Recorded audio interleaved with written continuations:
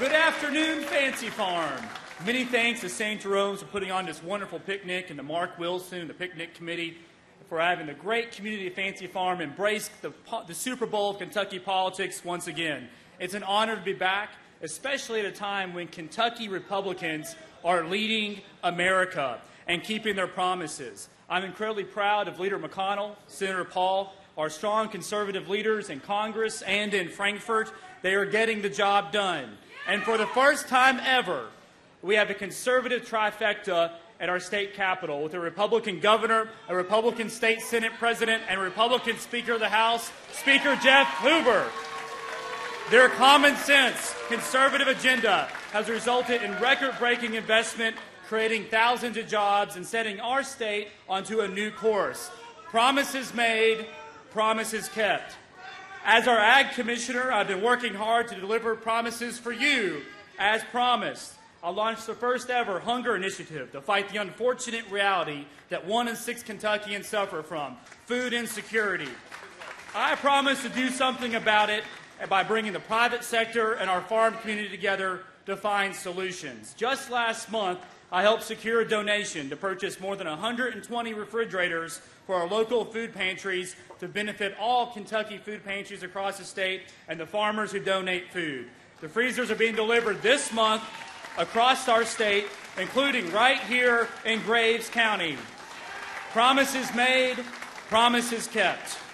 We learned that many restaurants, grocery stores, and farmers wanted to donate leftover food to the hungry, but the fear of lawsuits was a barrier to generosity. I said I would do something about it, and with the support of your House leaders and Speaker Hoover, we passed a bill to provide legal immunity to food donors, giving Kentucky the strongest donation law in our nation. And as a result, more food than ever is being donated, and fewer Kentucky families are going hungry.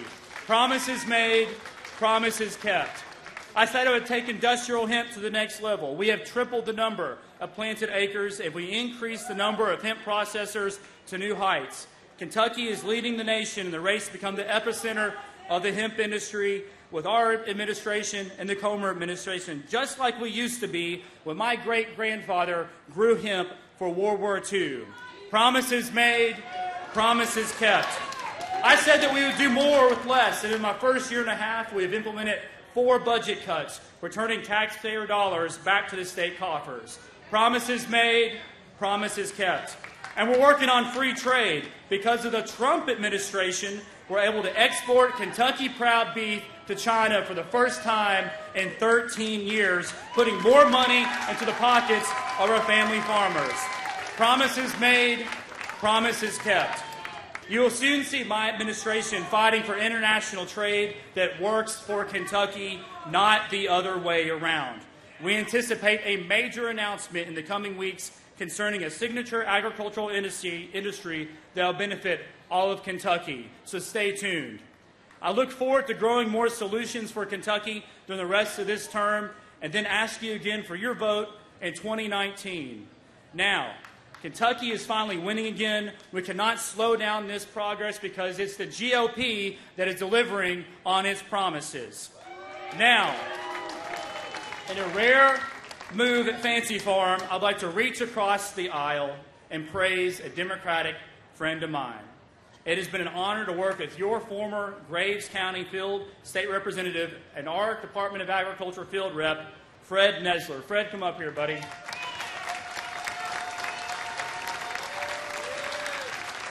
Fred announced his retirement after a lifetime of public service, and I want to bestow upon you the highest agricultural honor of the land, something more rare than a Kentucky colonel, an honorary commissioner of agriculture for a job well done. Well done, Fred. Thank you so much.